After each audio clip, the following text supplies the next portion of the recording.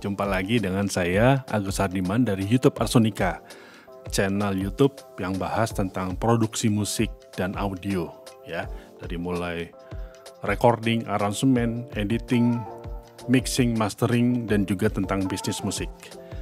Nah, di video ini sebenarnya juga eh, kegundahan saya yaitu dalam arti buat pengguna eh, komputer Mac ya. Jadi udah lama saya bertahan di di 10.15.7 ya tapi setelah itu keluar Big Sur yaitulah pas pertama kali ada prosesor M1 nah biasanya sih saya kalau mau upgrade itu selalu menunggu setahun. Jadi harus setahun dulu udah dirilis baru upgrade ya Nah, tapi kalau yang untuk Catalina ini saya udah dari ya 5-6 tahun lalu mungkin pakai. Jadi belum pindah-pindah karena apa? Karena takut nanti ada masalah dengan uh, software saya, dengan audio interface saya, ya.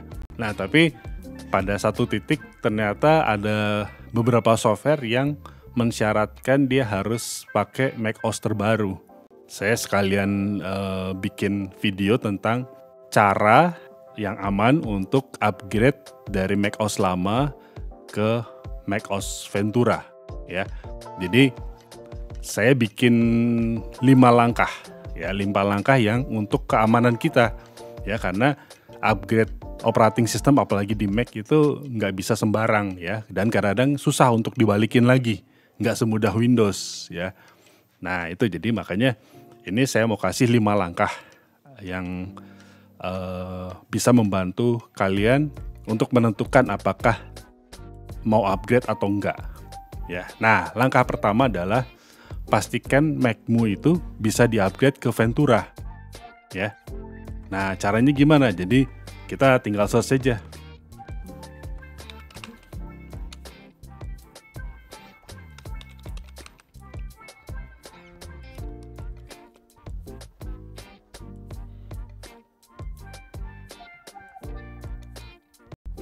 Nah, di sini ya.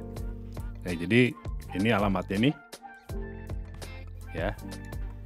Nah, itu di situ compatibility-nya adalah nah ini. Jadi untuk MacBook Pro yang paling tua itu 2017 ya 2017 ya ya jadi kalau lihat nggak ada yang lebih uh, tua lagi dari 2017.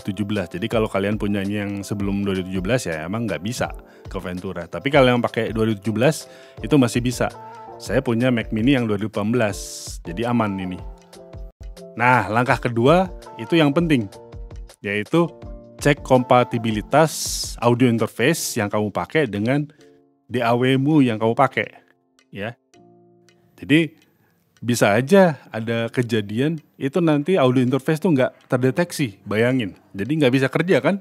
Atau kita harus beli audio interface lain. Nah itu kita harus hindari kan. Jadi jangan malas untuk cek dulu ya.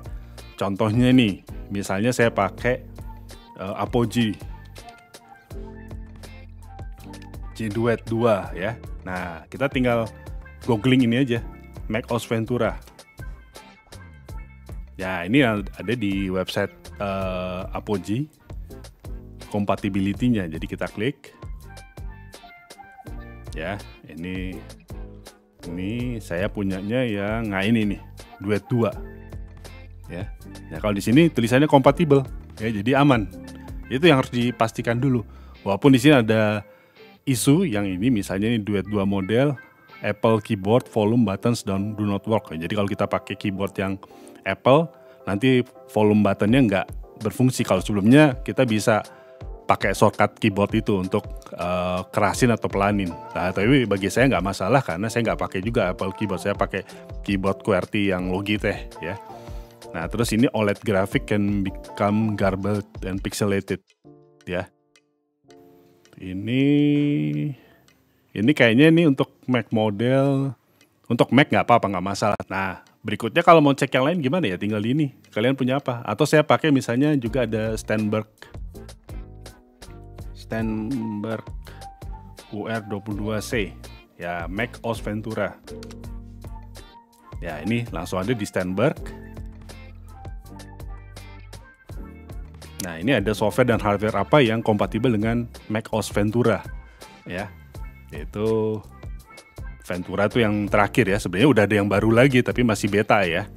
Nah, jadi tapi yang terakhir ini per video ini dibuat adalah Ventura 13.5 ya. Nah, kita lihat kalau Stenberg kan dia punya software Cubase, tapi saya, tadi saya bahas hardware kan, apa audio interface. Jadi kita klik hardware. Nah, ini. Nah, ternyata ada nih UR22C kompatibel. Ya, kalau kita pakai Mac yang uh, pakai prosesor Intel. Ya. Nah, tapi kalau untuk uh, yang pakai prosesor udah yang terbaru yang Apple itu malah native. Native itu artinya ya seperti aslinya normalnya gitu ya. Ini nggak uh, aslinya atau nggak native tapi nggak apa-apa nggak masa yang penting kompatibel artinya bisa berfungsi ya. Walaupun ini ada catatannya ya 343 Oh ya ini nih instalasinya Nah harus diupdate lah drivernya ya Nah, cuman kalau pakai plugin AX yang buat Pro Tools itu uh, belum dikonfirmasi bukan berarti nggak jalan, tapi ada kemungkinan nggak jalan gitu ya. Nah, saya uh, saya yakin sih ini masih kemungkinan dan saya bukan pengguna Pro Tools yang setiap hari pakai kan, jadi nggak masalah itu. Ya, nah itu ya produk-produk lama ya. Nah, tapi itulah intinya itu langkah kedua ya uh, cek kompatibilitas audio interface karena itu penting ya. Jangan sampai kamu harus ganti audio interface ya. Dan ke, uh, tadi saya bilang DAW-nya juga kalian pakai apa? Mau pakai Cubase mau pakai Studio One Ableton Live FL Studio dan sebagainya cek aja di googling juga. Ya jadi misalnya saya pakai Cubase Pro 12 12 terus Mac OS Ventura ya ini ya Stenberg support ya sebenarnya sama yang tadi sih ya. Cuman bedanya sekarang di softwarenya nah ini yang udah kompatibel itu Cubase Artist 12 jadi 12 11 masih masih disupport tuh ya. Di uh, contoh kita cek uh, eh, DAW misalnya apa lagi deh? Saya mau misalnya Ableton Live Mac OS Ventura Nah ini, selalu di website intinya ya, Mac Compatibility, live version yang versi 10 dan 11 ya. Nah ini kompatibel nih ya, live 11, live 10 ya. Nah paling ada catatan baca aja nih, ya dibaca aja ya apa yang disyaratkan. Nah itu yang langkah kedua ya jadi jangan lupa untuk cek kompatibilitas audio interface dan DAW. Nah kalau DAW-nya dan audio interface sudah aman, nah langkah ketiga adalah yang bikin biasanya orang itu males, males banget untuk ngerjain. Kenapa? Karena itu adalah membuat backup macOS-mu sekarang, yang sekarang ada.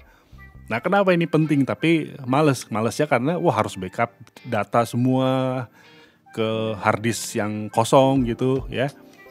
Ah, nah, tapi penting karena bisa aja nanti kita udah upgrade walaupun tadi dibilang di langkah 1 dan 2 udah kompatibel ya dan memang Mac kamu bisa yang di langkah 1 Mac-nya bisa tapi di ya langkah 2 juga kompatibel dengan audio interface dan DAW ternyata setelah diinstal masalah ternyata. Nah kalau kita nggak punya backup di langkah ketiga ini kita nggak bikin backup itu bakal susah untuk balikin lagi ke Mac OS sebelumnya. Memang bisa, tapi ribet, ribet banget gitu ya. Jadi pastikan kamu bikin backup Mac OS yang sekarang yang udah jalan. Jadi nanti kamu bisa balik lagi ya. Nah caranya gimana? Jadi yang pertama kamu siapkan satu hard disk kosong ya.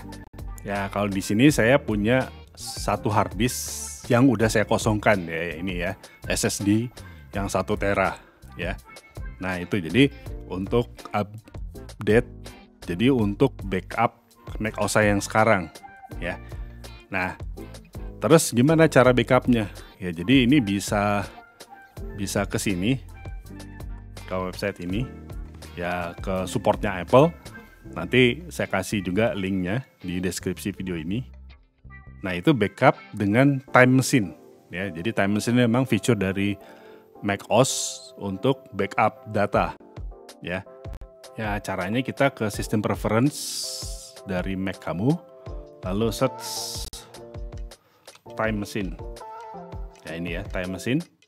Nah ini ya. Nah itu dia akan uh, backup uh, apa pun macOS kamu ya. Ini select backup disknya. Nah di situ ada pilihan kan hard disk saya itu ada banyak ya, total 19 terabyte ya. Tapi uh, saya udah kosongkan satu ini ya. Nah itu kita use disk. Ya available ya. Ya itu jadi uh, kita mau backup ya dia bilang akan backup atau kita bisa ke atas ini ya kita klik aja dulu ininya. Ya untuk show time mesinnya yang ini. Ya kita klik. Nah ini ada tulisan backup now. Kita backup now. Ya langsung dia preparing untuk backup. Nah ini ya. Jadi udah mulai membackup ya. Jadi ya ternyata ini butuhnya sebenarnya 311 gigaan ya gigabyte gitu ya kenapa karena saya pakai uh, Mac Mini yang hard disk internalnya SSD-nya itu yang eh, uh, 256 giga ya. Nah ini kalau lebih ini saya nggak tahu itu mungkin ada data di hard disk eksternal juga ikut dimasukin kali ya. Tapi tadi saya siapkan satu tera ternyata uh, gede juga kegedean sih ya. Jadi mungkin nanti sesuaikan aja dengan hard disk internal kamu berapa, tambahin sedikit gitu ya. Oke, jadi ini masih proses, masih dua jam lagi ya. Jadi nanti saya skip kalau udah selesai backupnya. Ya, akhirnya setelah dua jam, dua jam lebih, beres backupnya. Jadi datanya tadi sekitar 311 giga. Ya, nanti kalau dicek di hard disk saya itu ya, buat backupnya ini ada time mesinnya nih Nah itu ya Macintosh HD data ya jadi data ininya ya data harddisk uh, saya gitu. Oke. Okay. Nah langkah selanjutnya barulah kita kalau udah ada backup jadi tenang ya jadi jangan lupa untuk melakukan ini ya. Nah kita saatnya untuk install macOS Ventura ya. Jadi uh, ya memang di harddisknya harus disediakan uh, space yang cukup juga ya. Space kosong di uh, Macintosh HD ya. Oke cara upgrade-nya kita ke sistem preference ya. Nah di sini ada software update. Kita klik. Dia akan checking updates-nya. Ya ini ya macOS Ventura. Ya dia butuh 11,93 giga ya saya cek uh, hard disk saya masih ada lebih dari ini ya. Jadi sekarang kita tinggal klik upgrade now ya. Nah ini kita masih tunggu nih, saya nggak tahu berapa lama, tapi ini nggak akurat lah, masa dua hari ya, nggak mungkin. Ya nanti diupdate lagi lah ya. Nah nanti kalau udah selesai saya lanjutkan ya. Oke, kita akan mulai install macOS Ventura. Nah, ini kita agree. Nah ini ya, continue akan diinstal di sini ya. Kita bisa ini juga sih kalau mau lihat banyak hadis yang lain gitu ya. Tapi ya kita pilih yang Macintosh HD lah ya.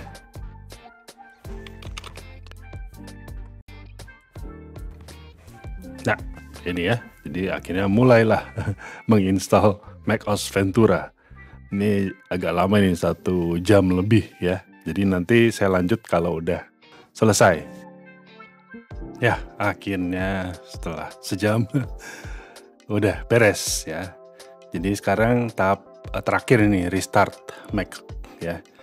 Jadi ya kalau dari restart nanti dia akan ini uh, akan masuk ke Ventura yang baru ya. Nanti habis itu kita akan cek apakah DAW yang saya pakai atau audio interface yang saya pakai aman atau enggak ya.